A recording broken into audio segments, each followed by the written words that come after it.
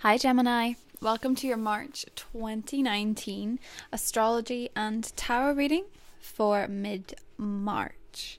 So, Gemini, full moon in Libra energy, super moon energy, fellow air sign in the first degree. Feelings are probably going to bubble to the surface in a way that feels a little bit out of control. Um, it is a beautiful supermoon. I'm not denying that. The difficulty with this one is that with Mercury, your ruler, in Pisces retrograding at the time of this supermoon, there may be a feeling of confliction when it comes to your own feelings. It could be a little bit overwhelming in that you can't get your feelings and your thoughts together. The supermoon is occurring in a very playful part of the sky it's very energetic, it's very lovable, it's very creative, it's all these beautiful things. It's very romantic as well as a full moon. But with your ruler retrograding in the side of the sky for you that's to do with career, your ambitions and to an extent your reputation may feel a little bit like they're on the line in your head. Um, there may be a bit of a question for you of what it is that you truly want and what it is that you're feeling. It is not a super moon necessarily that warrants great action. Actually, next month, uh, the next full moon in Libra, because there are two, so that's fantastic. You know, two full moons in your fifth house is a great thing. I'm just saying that with this super moon, you may not know entirely where you are, especially when it comes to romantic relationships, playful relationships, or relationships with your own children. Um, you may be a little bit overwhelmed and uncertain. On the same day, we have this aspect between Mars and Pluto. And Mars in the 12th is trining Pluto in the eighth. Now, Pluto is natural eighth house energy. So many things below your skin, many feelings, things that have gotten under your skin, feelings that are very hard to ignore will bubble to the surface. And to an extent, uh, this gives you an opportunity to say what's on your mind. The difficulty is that you might not know. So before you make big, big, big decisions because this one is an emotional one for Geminis, I feel. 12th house, 8th house energy um, is very deep. It's very introspective. It's very much to do with a little bit of a rebirth for you. It's kind of as though you have to go through this to get out of it. Now, before that sounds scary, um, it's not. It's just that if you notice your feelings getting very, very intense finding an outlet for that or finding somebody to talk to that you trust implicitly because trust would be an, an important thing um, in the people you do talk to, you know, a close confidant, a best friend, um, a parental figure, somebody that you really talk to about your feelings because they might all cum- uh, accumulate around this time. Now, the sun is also shifting into Aries on the same day, and that's a lot more comfortable for you than Pisces season was. It takes the focus off your career to an extent and shifts it. Um, onto your friendship sector, you know, friendships, close friendships, um, and the balance between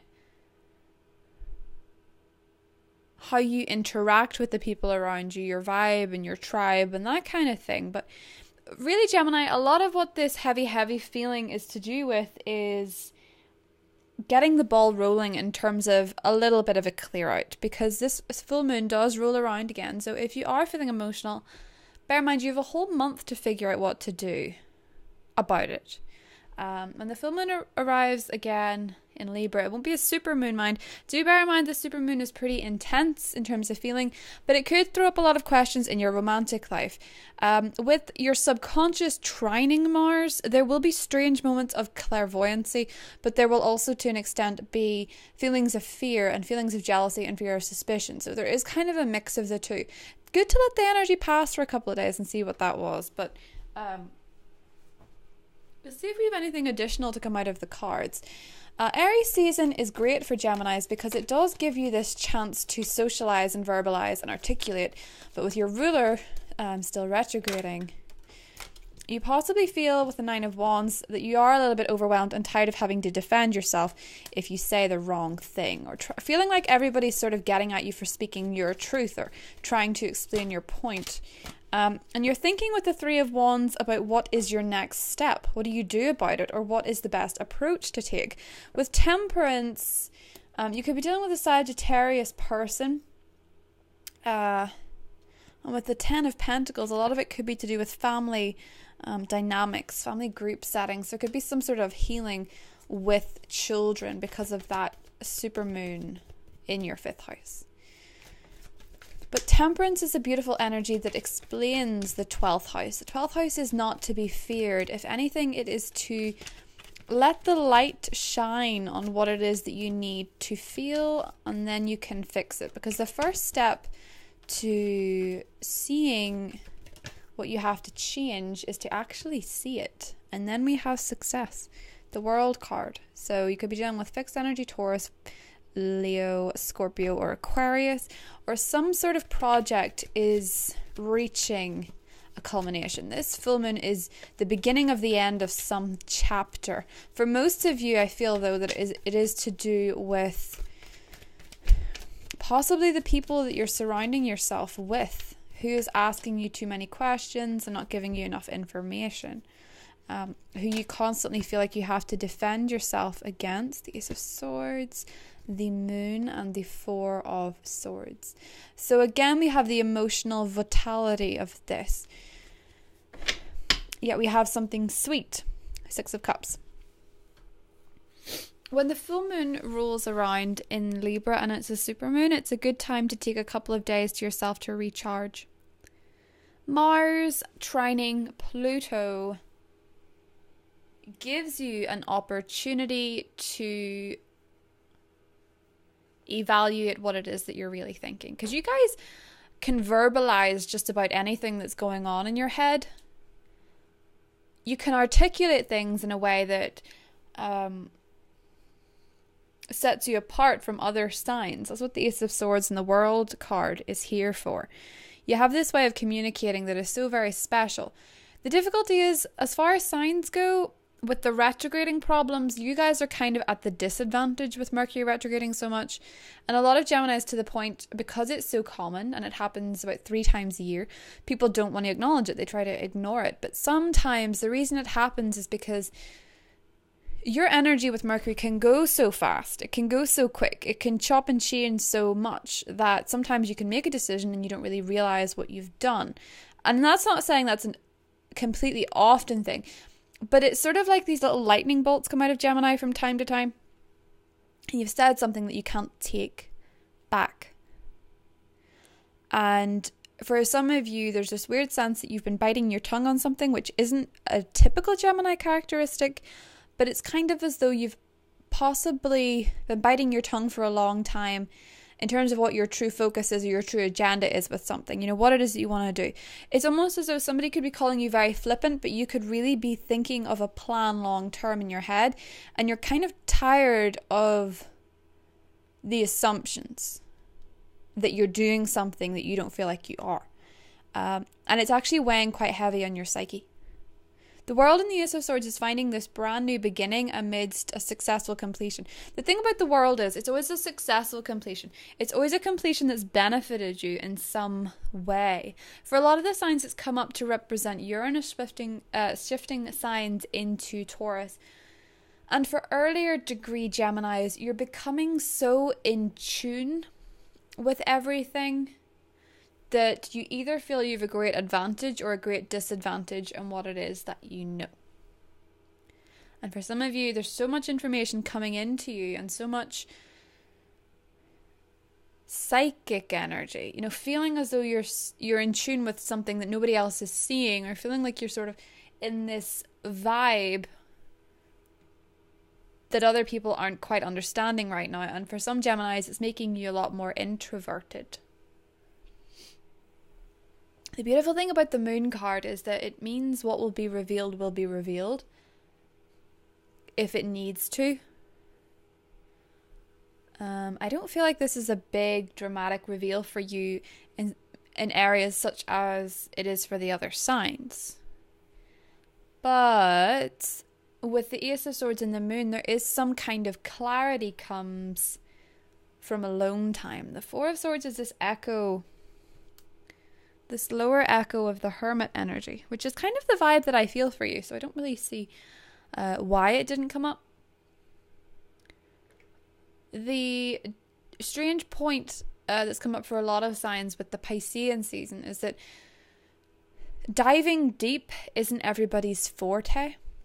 Um, and you guys are sort of continuing that on through March. Aries season will feel different because Mars is going to go into your sign on the 31st. And that's huge. That's that's really energetic. That will make you feel such a boost. But it will also be kind of exhausting. If you could recuperate a bit of your energy before that happens, Gemini, it would be a great thing to do. Use this full moon to go inward, to rest, to reflect, and see if there's anything that is, you know, a vulnerability that other people are possibly aware of that you're not. Um, with Uranus shifting into Taurus, that's going to be a chapter of you guys that if you deal in things like astrology or tarot and things, you're going to gain this awareness that puts you in an advantage, but it's also going to limit how much information you want to share. For some of you, you'll probably come off social media.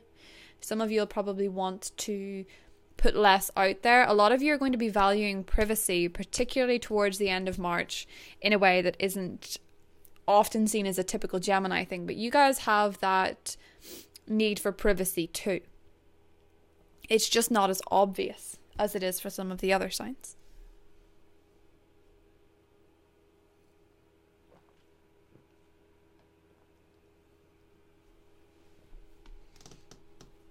Actually, um, what I kind of see for you guys is this real abundance of healing that is generating um, success. Which is funny because the more aware you become of the law of attraction, and the world card is kind of like the law of attraction. Um, it's also in some decks known as the universe.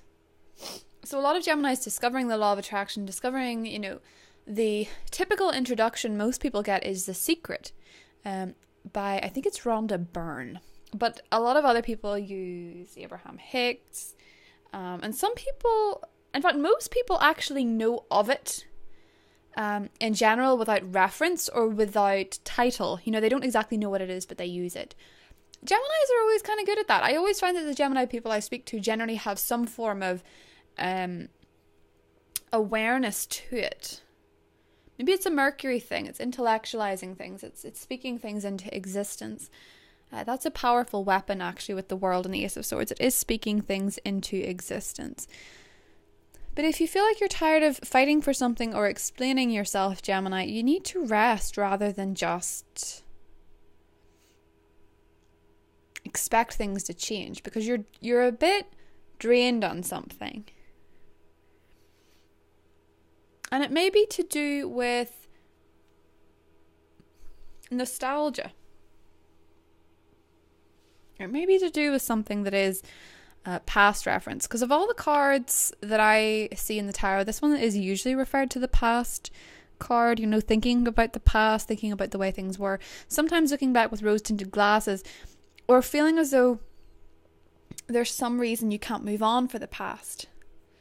If you want to know why you can't move on from the past, it's not because you're meant to be there, it's because it has an answer that you've not learned yet. And that's what the moon can do. The moon can illuminate what that truth was. The moon and the Four of Swords is so meditative. It's meditation. It is personal insight that you can't get from any source, uh, be it astrology, be it tarot, be it advice, be it um, anything. Sometimes there's an answer that just has to come from sitting on your sitting on your own uh, meditating and letting it come to you. It's about dropping that resistance. It's about dropping the need to verbalize it and just letting it be. There's something trying to come through for you. And you guys are going to learn very, very, very well how to become aware of that and how to channel it. The world in the Ace of Swords means that it is a successful endeavor. Some of you are becoming published for the first time. Some of you want to write books. Some of you want to write a blog, start a website. It's all very well aspected. It's a talent. It's a, it's a talent that can make you money, it can make you successful.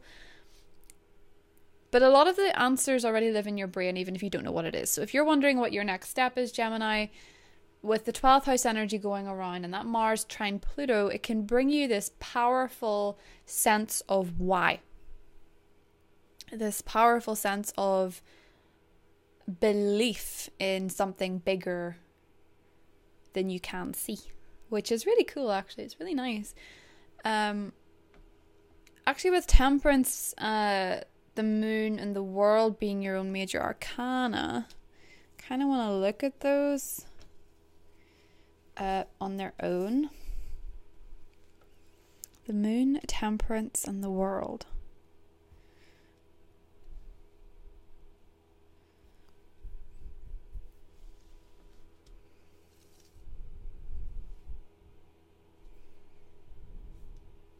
One of the greatest uh, sources of manipulation that people have over each other is calling each other crazy. And it's trivialized now to a point that it's not taken seriously. Um, but I've always found when you hear somebody say that so and so, you know, someone they've been involved with a very, very personal level, if they throw out loosely the term crazy, um, oftentimes they're referring to their own actions within the bond. I'm not saying that's in every scenario. In other cases, if somebody says that their ex was abusive, that's different. But the term crazy is something that people use to suppress. You kind of seem to have an energy whereby you had an idea and you sort of sometimes people when they become very enlightened get torn apart by others and called crazy and things or they become aware or they're trying something new. You know when you're trying the law of attraction some people say that's really stupid. Um, that's not scientific and everything is you know their rationale for everything is science when they're not a scientist. Um, what this is telling me gemini is that you have some sort of belief system or vision or an idea that is working for you and you have to be wary of people that are calling you crazy because they're maybe not your people. You know, they're maybe dragging you a little bit, and it's not for you to sort out, it's not for you to act upon. It's for you to spend some time by yourself and think, Am I doing this for them or am I doing this for me? That's kind of the vibe that I'm getting for you this month. It's actually quite, it's very introspective. Probably not your typical Gemini reading, but St. Bridget, don't back down, stand up for what you believe is right. So that ties in perfectly with what I was just stay, um, saying to you. That if you feel as though people are dragging you for no reason, you probably could do with a little bit of space, sacred space. Create an altar or visit a power place to connect with the divine. We also have boundaries. Love yourself enough to say no to others' demands in your time and energy, which is all about that self reflection, that spending time alone, um, sticking up for yourself and your beliefs, and unconditional love. Love yourself, others in every situation, no matter what the outward appearances may be. So you can ask for space. You can do it from um, from and with a language of love, from a place of love, and you can be very accepting that you just need that time by yourself. That's okay too, Gemini. You don't have to be the life and soul of every party. You can spend time by yourself and really look into what it is that you need to do. The super supermoon's very intense. It'll drain your energy with Mercury being retrograde in your um, 10th house. People at work may feel particularly draining, um, maybe very busy there do remember to schedule in some time for yourself because that's the only way that you're going to um, charge yourself under the full moon rather than exhaust yourself. So, I love you guys. I'll see you in the next set of readings. Bye.